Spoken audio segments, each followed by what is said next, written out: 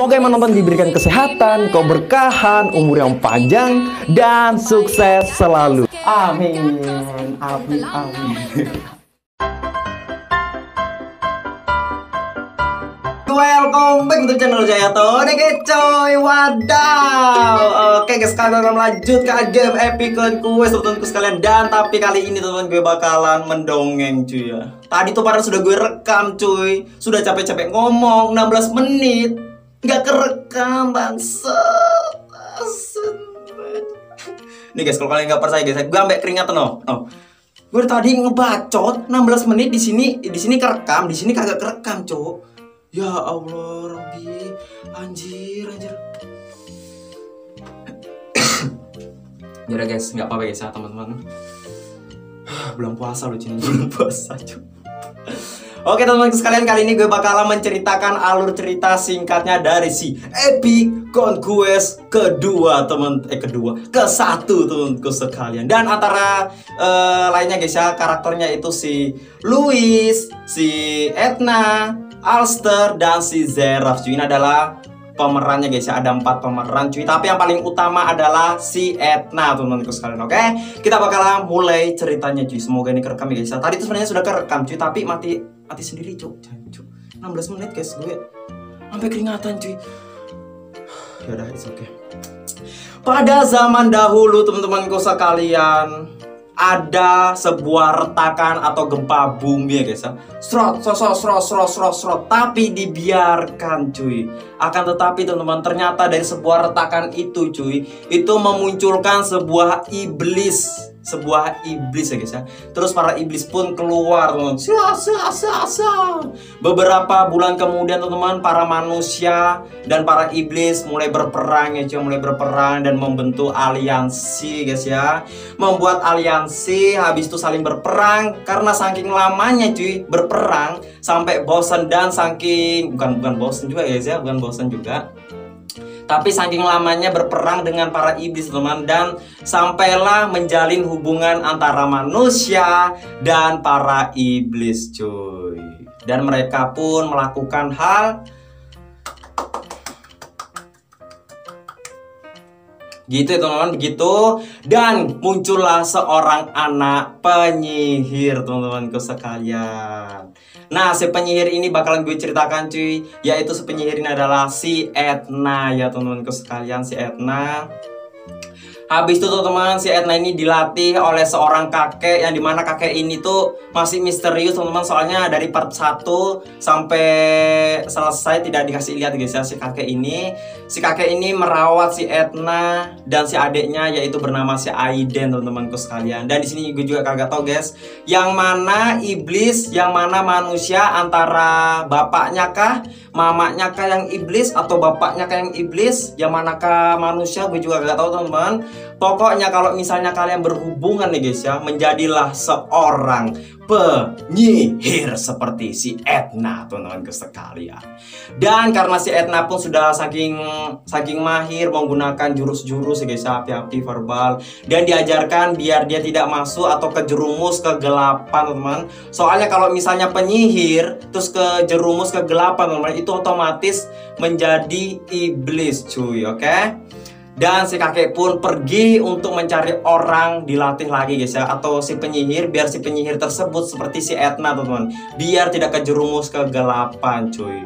Akan tetapi teman-temanku sekalian Si Aiden ini atau si adiknya kita guys Diculik oleh iblis teman-temanku sekalian. Diculik oleh iblis guys ya Tidak tahu ke mana guys ya diculiknya ke mana. Dan di sinilah perjalanan menjadi seorang survivor. Dimulai teman teman-teman sekalian oke? Kita bakal mulai teman-teman. Perjalanan demi perjalanan teman-teman ternyata ada sebuah desa guys ada sebuah desa. Karena si Edna adalah penyihir dia bisa mengetahui bahwa ada aura-aura guys ya aura-aura monster teman-teman. Dan mereka pun berperang bisa sesampailah ada yang meminta tolong. Tolong! Nah terus kita pergi teman-teman sok sok sok sok sok dan kita bertemu dengan dua karakter cuy. Yaitu bernama si Lea dan si adiknya. Gue lupa namanya. Si John saja guys ya. Lea dan si adiknya teman-temanku sekalian. Tetapi teman-temanku sekalian si Lea ini sedang pingsan atau habis melindungi si adiknya kemungkinan besar ya guys ya Terus si Edna pun menolongnya teman-temanku sekalian. Sah, sah. Oke, kita bakalan berpindah lagi dari kerajaan teman-temanku sekalian. Di kerajaan ada seorang komandan yang pria pria apa? Gepeng ya, gepeng. Disuruhlah si Alster. Alster disuruh pergi ke desa karena sudah ada laporan masuk ya guys ya bahwa para iblis menyerang si uh, perdesaan guys begitu. Habis gitu teman-temanku sekalian, si Alster ini disuruh menaikkan naga akan tetapi si Alster ini pertamanya menolak ya guys ya. Lebih baik jalan kaki tetapi komandannya ini menjelaskan ya guys ya. Kalau kamu jalan kaki kamu bakalan tujuh hari dan bisa jadi uh, para desa sudah meninggal semua. Mau kagak mau si Alster pun naik naga teman-teman. Nggak sampai satu hari kemungkinan besar ya guys ya. Nggak sampai satu hari atau satu hari mungkin cuy. Terus uh, sesampailah di desa teman-teman. Serat Ternyata di desa itu dia langsung ketemu oleh bosnya Bogu teman-temanku sekalian begitu. Tapi si Etna teman-teman dia tuh mempunyai aura-aura yang bisa mengetahui ya guys ya bahwa di sana tuh ada monster yang lebih besar cuy. Dan si Etna pun sama si adiknya Lea ini, ya adiknya Lea ini guys ya, bergegas pergi dikirakan uh, penduduk desa guys ya ternyata kedatangan kesatria ini teman-teman. Di situlah si adiknya Lea bilang guys ya, kak kak nanti kalau di dekatnya kesatria itu jangan munculkan kekuatan kakak, soalnya nanti kakak diambil sama kesatria itu terus dibawa uh, ke istana gitu teman-temanku sekalian. Jadinya terpaksa si Etna menjadi orang biasa guys ya. Terus si Alster pun tahu guys bahwa ada kedua orang yaitu si Etna dan adiknya Etna. Minggir, jangan dekat-dekat. Biar sa biar saya saja melawan bos ini gitu guys. Terus si Etna pun diam saja guys ya, diam saja. Sesampailah si Alster ini kalah cuy. Kalah guys ya, kalah. Dan adiknya ini eh si apa? Eh si Etna teman-teman, si Etna pengen membantu guys. Tetapi si adiknya ini melarang guys ya, melarang karena nanti takut kalau si kakak Etna ini bakalan ditangkap oleh kesatria teman-temanku sekalian. Tetapi karena si Etna ini mempunyai jiwa atau yang mempunyai baik hati guys ya mau gak mau dia harus mengeluarkan cuy. Wow, fireball, strike. Tetapi teman-teman si kesatria ini kan sudah kalah guys ya otomatis si kesatria ini pingsan teman-teman. Jadinya dia hanya melihat bola-bola doang guys. Push gitu. Tapi di matanya kesatria itu eh, kayak sudah buram-buram guys ya soalnya dia pingsan. Peng Terus mereka pingsan teman-teman. Habis itu dibawalah pergi ke rumahnya si Lea yang telah kita selamatkan kedua orang ini teman-temanku sekalian. Habis itu mereka berbincang-bincang di saat saat saat saat saat saat di sini si Lea sudah ketahuan teman-temanku sekalian. Ketahuan sama si Alster bahwa si eh, si Edna ini adalah penyihir teman-teman. Pertamanya guys ya pertamanya si Alster ini pengen membunuh si Etna teman-teman. Tapi karena ada kakaknya Lea yang telah memperjelaskan guys ya kalau misalnya si Etna ini memang jahat si Etna bakalan eh tidak bakalan menyelamatkan nyawaku dan nyawamu juga. Nah di sinilah si Alster berubah pikiran guys. Boom. Kayak singkat cerita kita sampai di istana guys ya. Sudah di balik kota guys ya. Sudah di balik kota teman-teman Sesudahnya sampai di balik kota, si Etna mulai terkagum-kagum ya guys ya. Soalnya kan si Etna ini selalu bersembunyi ya guys ya. Soalnya dia kan penyihir, dia takut ditangkap gitu teman-teman. Si Etna pun senang cuy. Wah, banyak makanan. Begitu guys. Dan tiba-tiba ada suara prok prok prok prok. Oh, di sana ternyata ada seorang kesatria teman-temanku sekalian, yaitu bernama si Louis dan para prajuritnya teman-temanku sekalian. Dan di situ pun mereka saling berkenalan guys ya, berkenalan berkenalan. Akan tetapi si Etna ini masih menyimpan identitas aslinya guys ya, yaitu seorang penyihir cuy. Jadi dia hanya diam-diam doang. Singkat cerita si Louis ini pergi uh, ke gurun pasir teman-teman terus dia tidak kembali kembali lagi guys ya. Terus si Alster disuruh oleh komandannya untuk pergi menjemput si Louis karena si Louis uh, sudah berminggu-minggu belum kembali. Dan si Alster pun membawa Edna pergi bersamanya. Cuy mereka pergi guys sa sa sa sa sa sa sa sa dan singkat cerita mereka sudah bertemu teman-temanku sekalian. Akan tetapi guys ya pas itu ada gurun pasir eh gurun pasir. Ada badai pasir teman-teman ada badai pasir. Jadinya mereka tuh uh, berhenti di goa-goa guys. Ternyata di dalam goa itu ada Louis dan para prajuritnya teman-temanku sekalian. Oke di sini sambung lagi guys ya. Dan para prajuritnya dari si Louis ini teman-teman disuruh pulang duluan guys, disuruh pulang duluan. Soalnya si Edna dan si Alster ingin melawan bosnya, tetapi si Louis juga pengen intel atau ngikutin terus menerus ya. Dia. Dia tuh pengen ngikutin kita cuy tapi kesatrianya eh, atau prajuritnya guys ya disuruh pulang duluan teman-teman sekalian disuruh pulang duluan. Habis itu jadilah tiga orang menjadi survivor yaitu si Edna si Alster dan si Louis ya guys ya sudah si Louis. Habis itu singkat cerita guys ya mereka bertemu dengan hmm, apa iblis iblis gitu guys ya sebelum bertemu dengan iblis ya guys ya si Alster ini pengen mengungkapkan bahwa si Edna ini adalah penyihir akan tetapi belum kesempatan guys belum kesempatan untuk ngomong ke sama si Louis tapi monsternya sudah muncul duluan. Ya udah, guys. Jadinya si Ed, eh, si Alster bilang, "Ya udah, Edna, tunjukkan kekuatanmu yang asli Biar nanti saya akan menjelaskan ini kepada si Louis. Si Alster pun berkata begitu cuy. Dan si Edna pun mengeluarkan jurus yang sangat wah guys ya. Fireball, so so so so so, flame shot, trot. Gitu teman-teman sekalian Habis itu si Louis pun terheran-heran kaget guys ya. Kenapa anak ini bisa? Kan si Alster ini mempunyai balas dendam kepada penyihir ya guys ya. Oke gue bakalan menceritakan juga ini teman-teman kenapa si Alster bisa jengkel oleh penyihir teman Soalnya pas dia masih kecil cuy dia itu mempunyai teman yaitu penyihir guys ya penyihir. Tetapi penyihir yang ditemani si Alster ini pas ma eh pas masih kecil teman dia tuh terjerumus masuk ke pikiran kegelapan guys dan berubah menjadi iblis dan si perempuan itu atau temannya si Alster yang pas masih kecil teman-teman dia membunuh orang terdekatnya si Alster cuy. Dan di situ pun Alster bersumpah untuk membunuh para penyihir teman-temanku sekalian. Gitu guys. Tapi kenapa si Alster tidak membunuh si Louis eh si si Edna? Karena yang tadi guys ya dia telah uh, mendengarkan ceramahnya si Lea guys. Gitu teman-temanku sekalian oke? okay? Habis itu pun uh, si Louis menceritakan ya guys ya menceritakan aku juga sebenarnya pengen mempunyai teman seorang penyihir gitu guys. Soalnya si Alser ini dia tuh tidak mempunyai teman sama sekali cuy. Dia tuh apa ya guys ya kayak pokoknya tidak punya teman lah gitu guys, tidak punya teman pokoknya begitu teman. Kalau dibilangin nolep juga bukan nolep dia tuh teman. Dia tuh mempunyai sifat yang egois, ngomong yang ngeselin, baru dia tuh hanya mempunyai teman satu guys yaitu bernama Louis. Itu doang teman-teman sekalian yang tahu guys. Oke kita lanjut teman-teman. Mereka pun saling berbincang bla bla bla bla bla bla bla. Tiba-tiba para prajurit yang disuruh pulang tadi guys ya dia tuh datang lagi cuy. Disuruh sama komandannya karena ada eh, isu-isu uh, ada kedatangan penyihir.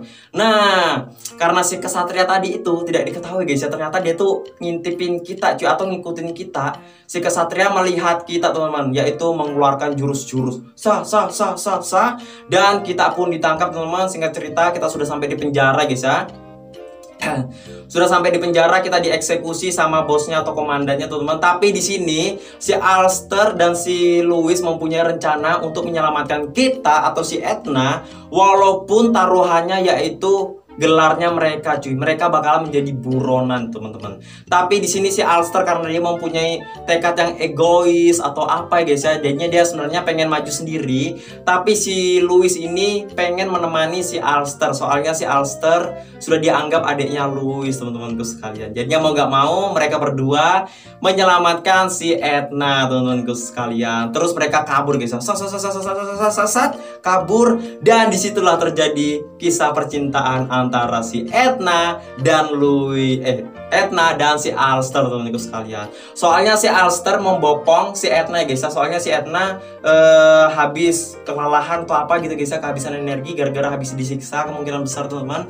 sama komandan. Jadinya si Etna lelah, jadinya dia digendong sama si Alster cuy. Dia pergi dan yang anehnya sini ya guys ya, sebenarnya tuh Etna sudah sadar cuy. Tapi karena si Etna uh, belum pernah digendong sama seorang pria mungkin ya guys ya. Jadinya dia pura-pura tidur. Tapi si Alster tuh sebenarnya sudah tahu guys bahwa si Etna ini bohong-bohong tidur-tidur cuy. Dan di situ pun mereka kisah cintanya mulai guys ya, sudah mulai tuh sudah. Uh, pokoknya mengantar teman-teman sekalian, oke? Okay? Singkat cerita teman-teman, dia sudah mulai melarikan diri guys ya. Soalnya bertiga ini teman-teman si Alster, si Louis dan si Etna Etna Louis Alster guys ya. Mereka sudah menjadi buronan. Soalnya dia telah menyelamatkan si penyihir ini dari penjara guys oke? Okay? Dan sesampainya kita mulai pergi guys ya. Kan sekalian untuk mencari adiknya si Etna guys ya yang bernama Aiden. Nah di pertengahan perjalanan ini tuh teman Kita bertemu dengan orang baru lagi cuy. Yaitu bernama si Zeraf.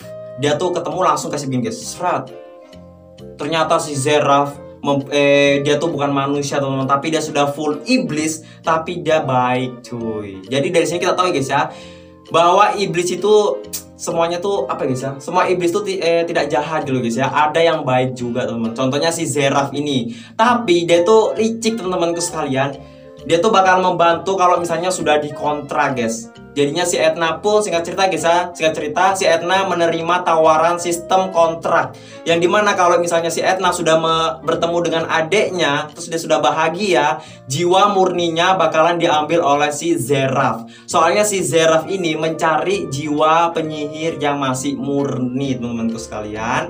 Oke. Oke, habis itu mereka saling ini guys ya, saling persetujuan guys ya, persetujuan antara dua pihak yaitu uh, kalau misalnya sudah terpenuhi janji-janjinya jiwanya si Etna bakalan diambil si Zeraf teman-teman. Dan di sini orang empat bakal menjadi uh, teman barunya kita guys. Eh satu orang guys ya. Si Etna, Alster, Louis dan si Zeraf mulai perjalanan teman-temanku sekalian. Dan ternyata cuy si Zeraf ini mempunyai kekuatan teleportasi atau portal. Oke lanjut Terus si Zeraf pun membuka portal guys ya Seret biar cepet cuy biar cepet sampai di markasnya bosnya. Biar ketemu adiknya habis itu eh, jiwanya Edna bakalan diambil oleh Zeraf Jadinya biar cepet-cepet gitu guys ya oke? Okay? Dan mereka pun singkat cerita mereka pun sudah sampai di gunung berapi ya guys ya berapi-api Dan singkat ceritanya lagi teman-teman eh, mereka bertemu dengan bosnya cuy. Anjir gue lupa cok nama bosnya. Bogo apa lagi cok Ucup, gue panggil Ucup aja ya. Panggil Ucup aja. Dan si bos Ucup ini teman-teman Si bos Ucup Dia itu mempunyai sifat Dia itu sebenarnya lemah teman-teman. Lemah terhadap apa pun. Tetapi Dia tuh kelebihannya Ada di sistem mana teman-teman? Mana atau energi guys ya. Yang di mana mananya ini tuh tidak habis-habis cuy. Jadinya dia menjadi bos teman-temanku sekalian. Oke Habis itu uh, Si bos Ucup ini dijaga oleh tiga orang yang pertama yaitu bos-bos ini, bos bos A, bos B, bos C, dan yang satunya eh empat berarti guys ya empat, berarti ada empat, dan yang satunya ternyata itu adalah adalah adiknya kita cuy, atau si Aiden teman Ternyata si Aiden sudah ya masuk ke jerumus atau kegelapan gitu guys ya, dia sudah menjadi iblis teman-temanku sekalian. Dan di sini pun si Etna teriak teman-teman, e, biar si Aiden itu kembali menjadi manusia. Aiden, Aiden. Gitu teman ya Aiden Aiden. Biar terdengar kejiwanya soalnya kan si Aiden ini sudah menjadi iblis ya guys ya. Atau jadi naga teman-teman. Si Ernest tuh kepengen bahwa Aiden tuh kembali murni lagi gitu loh cuy. Tapi di sini tuh tidak gampang cuy. Tidak gampang ya guys ya. Mereka tuh dihalangi oleh tiga bos-bos cuy. Bos yang pertama, bos yang di gurun Dan bos yang ada di gunung berapi. Anjir, apa mati lagi Tuh aing mati mulu, Cok. Ah, tai lah api.